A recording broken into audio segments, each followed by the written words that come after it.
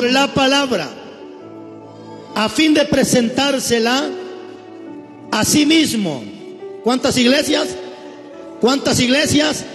Una iglesia gloriosa que no tuviese mancha ni arruga ni cosa semejante, sino que fuese santa y sin mancha.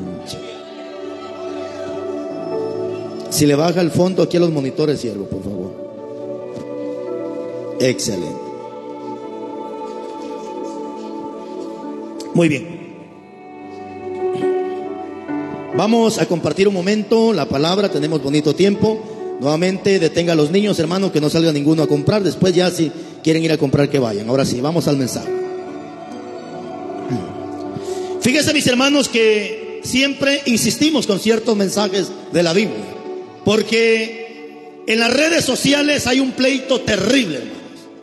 Un pleito terrible en las redes sociales. Y no solamente en las redes sociales, sino el pleito se vive de manera palpable. ¿Cuál es el pleito que muchos tienen en estos tiempos? El pleito es que cuál es la iglesia que se va a ir para el cielo, ¿cierto? Todo dicen la iglesia. Y si usted, le voy a poner ejemplos sin miedo alguno. Pregúntele usted a un católico el católico afirma y confirma que son los únicos y que son los que van para el cielo. ¿Cierto o no cierto? De repente usted le pregunta a un testigo, si sabe quién es un testigo? Los que van de casa en casa. Usted le pregunta a un testigo y ellos le salen con el cuentecito de que también son los únicos y la única iglesia. Y afirman que son los 144 mil de los que habla Apocalipsis. Dejémosla ahí. De repente le pregunta a un sabático. ¿Sabe quién es un sabático? El que no come cangrejo. ¿Qué más no come? No come chicharrón. ¿Qué más? No come camarón, ellos son los sabáticos. Entonces, usted le pregunta a un sabático, ellos afirman y confirman que también son la única iglesia. Que porque no comen chicharrón, que porque no comen esto, que porque guardan el sábado. Pero no le vaya a contar a nadie lo que le voy a decir. ¿Estamos? Ok. Tengo mi par de vecinos, fíjese usted, que son sabáticos. Ellos no comen chicharrón, no comen cangrejo, ni nada de eso. Pero tengo mi vecino que remañoso el ingrato, que cuando mira una muchacha que va pasando, peor si va con minifalda, mire usted. Pero no come chicharrón, pero no come marrano. A esto se les aplica lo que Cristo dijo, hipócrita, cuelan el mosquito y se tragan el camello. ¿De qué sirve que no coman chicharrón si le están viendo las piernas y las nalgas a las mujeres? Ya está agarrando fuego.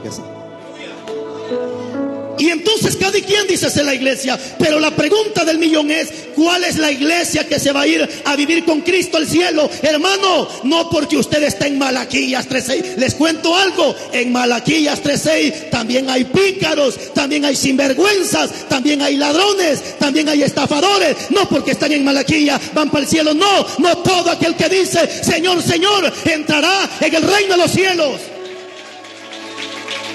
Jamás Jamás voy a decir o voy a pensar que yo soy la única iglesia, jamás. Porque Elías pensó que era el único el que estaba en la tierra. Y Dios le dijo, no Elías, hay otros siete mil más que no han doblado su rodilla delante del diablo. Nunca vaya a decir que usted es el único, nunca vaya a decir que usted está en la única y, y única iglesia. No, hermanos, en el mundo hay muchos hermanos que están viviendo de acuerdo a la palabra de Dios.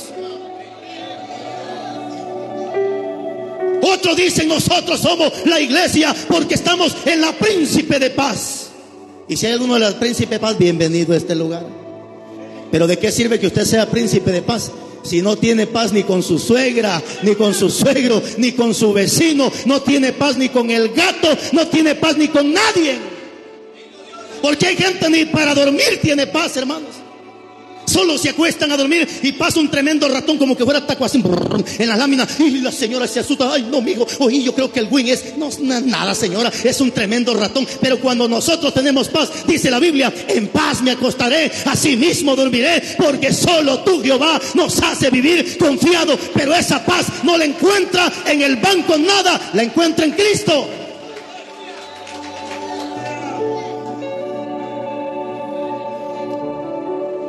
Yo necesito saber si estoy en la iglesia verdadera. Yo necesito saber si estoy en la iglesia verdadera. Porque de qué sirve que usted diga que está en la iglesia verdadera si su conducta, sus actitudes dicen otra cosa. Ahorita iglesia vamos a ver parte de esto y el apóstol Pablo me está dando algunas características de esa iglesia que se va a ir con Cristo al cielo y en el 27 dice, a fin de presentársela a sí mismo una. ¿Verdad que no dice dos? ¿Verdad que no dice tres? ¿Cuántas iglesias?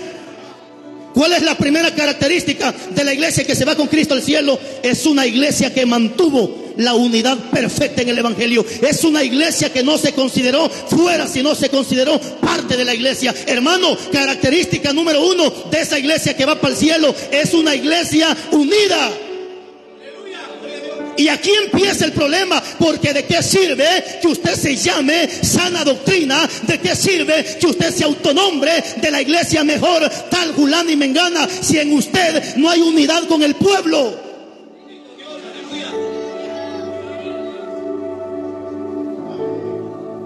Y ese problema tenemos ahorita, hermano. ¿Qué unidad?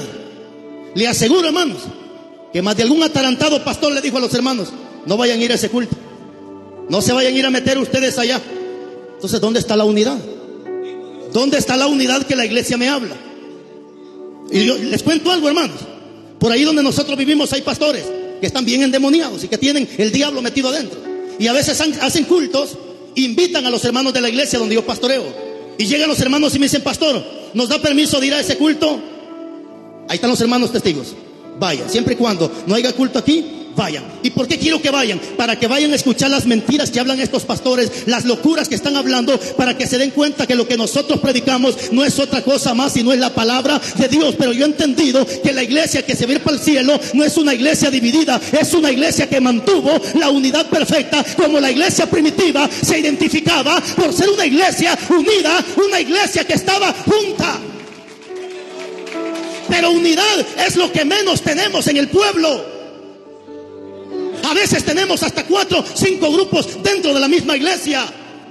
Y ese problema lo teníamos en la iglesia de Corintio. Unos decían, yo soy de Pablo, otros decían, yo soy de Cefas, otros decían, yo soy de Apolos, y otros decían, yo soy de Cristo. Ese problema tenemos dentro de muchas iglesias, que hay un pleito terrible, que cada quien quiere estar con quien quiera estar. No usted, yo me junto solo con Carlos Rivas. No usted, dice el otro, yo me junto solo con Marlon Barrio. No dice el otro, yo me junto solamente con Rudy. Váyanse al diablo, aquí nadie es mejor que nadie. Aquí el único bueno y perfecto es Cristo y nosotros la santidad y la perfección también de Él.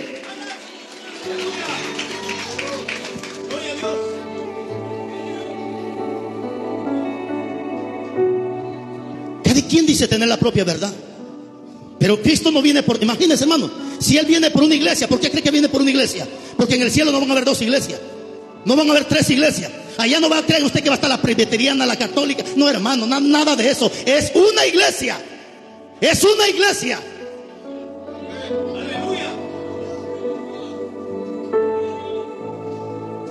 Los mundanos a veces tienen más unidad que la iglesia cristiana. ¿Cierto? En los amigos muchas veces hay más unidad que no en la iglesia. ¿Cierto o no cierto? se cuenta los borrachitos. Se reúnen hasta 10 borrachitos y compran una botella de licor, ¿cierto? ¿Y qué hacen los borrachitos con esa botella? Un trago uno, un trago el otro, un trago el otro y todos le dan vuelta a la botella, ¿cierto o no cierto? Mire cómo están los amigos de Unido. Los marihuanos allá están en las esquinas con un gran puro de marihuana. Mire, se lo pasa uno, se lo pasa otro y hasta le echa humo en la boca el otro y hasta se besan los ingratos. Mire usted, pero qué unidad tienen los ingratos, hermano. Y unidad es lo que menos tenemos en el pueblo de Dios. Hoy la hermana juntándose solo con la hermana que le conviene. Y mire, hermano, lo que más hay en la iglesia es pleito, divisionismo, gente pleitista, gente chismosa, gente que lo único que sirve es servir de piedra de tropiezo dentro de la iglesia. Pero no se preocupe, en la iglesia tiene que haber trigo y tiene que haber cizaña.